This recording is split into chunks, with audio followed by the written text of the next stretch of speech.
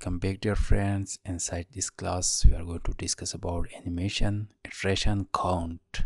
This is a very important feature inside css open your code editor and you have just a simple div here and a class of box. Then you have this here some width for 150 pixel height background color border margin to zero auto and animation duration is 2 second animation fill mode is forward and animation name is test. And finally this is the output. Now uh, i want to just use here inside this style tag. You can use here at the right keyframes. Then you know you you should select the name of your animation whatever you are giving here.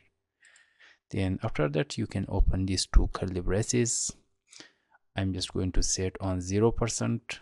We are going to work on opacity for right now. On zero percent the opacity should be one. So you can duplicate this two more time. I'm just writing here for example on 50 percent this one can be on 100 percent. And on 50 percent i am going to set this on zero. You can save this go to your web page and refresh. Now you can see it's just working for for one time. First it is on opacity is one. Then it's going to be in zero. Then it will come back to be on the one. You can see? So here like this you can duplicate this. Control d again and again. For example this one can be 20 percent. This one can be 40 percent. You know 60 percent 60 and this one can be 80 percent. And one zero then again one then again zero you can set. Again one again zero just like this.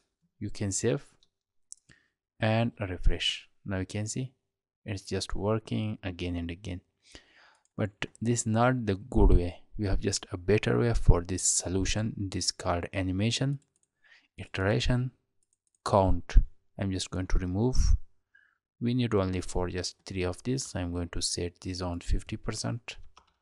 Just the first and final setting 101 now you can save come here and refresh. So here inside your box inside these curly braces after this i'm just writing here animation. And you can find this here iteration count. For how many times you want. You need to just write this in number.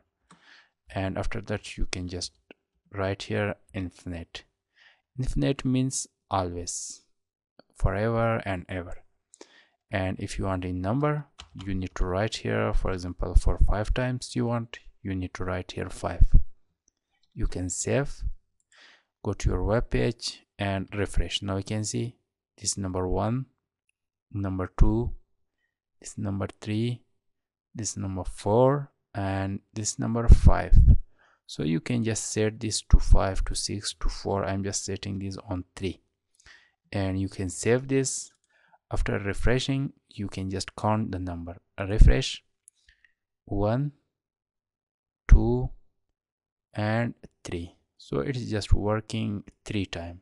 Any number you are assigning here it will work according to that number if you are writing here infinite so it will work again and again. It means forever. Now you can see. There is no stop time. There is no end time. It will work just again and again. Opacity 1 opacity 0 opacity 1 opacity 0 we have set it here. You can see. 0 percent 50 percent 100 percent. So it will just work according to this again and again you can see.